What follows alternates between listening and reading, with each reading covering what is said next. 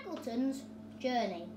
In 1914, Ernest Shackleton and his crew set off to cross the Antarctic. Although they didn't realise it, they were going to make history. They set off from South Georgia on their ship Endurance on the 5th of December 1914. Although in the beginning the sea was clear, gradually it got more and more cold with icebergs floating past. Eventually they reached the pack ice and the ship became stuck for nine months.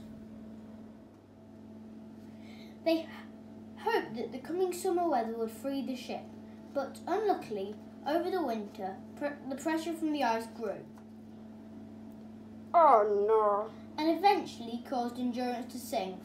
Crew rescued as many things as possible from the ship. They set up camp close by for a few weeks.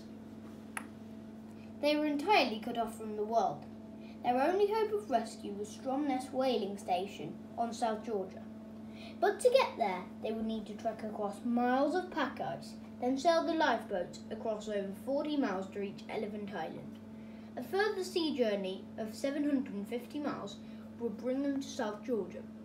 It was a journey no human being had ever made before.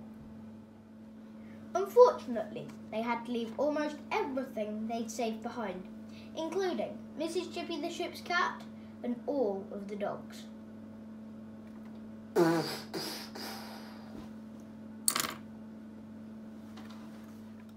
Eventually, the men began the first stage of their epic journey to rescue. After a hard trek of seven miles in seven days, dragging the lifeboats with them, they set up a second camp. Once the ice began to melt and crack, they finally set sail in their lifeboats. The next phase began with the difficult sail to Elephant Island. This took 28 men, six days at sea, living in three cramped lifeboats. Once they arrived, they converted two of the three lifeboats into huts, leaving only the James Caird seaworthy. Shackleton selected his five best men to go on the final leg of the mission, sailing across the treacherous Southern Ocean to South Georgia. They arrived exhausted after 16 days at sea, only to discover they were on the opposite side of the island to the whaling station. After a brief rest, Shackleton, Officer Tom Crean, and ship's captain Frank Worsley set off to cross the uncharted and almost impassable southern Alps and glaciers of South Georgia.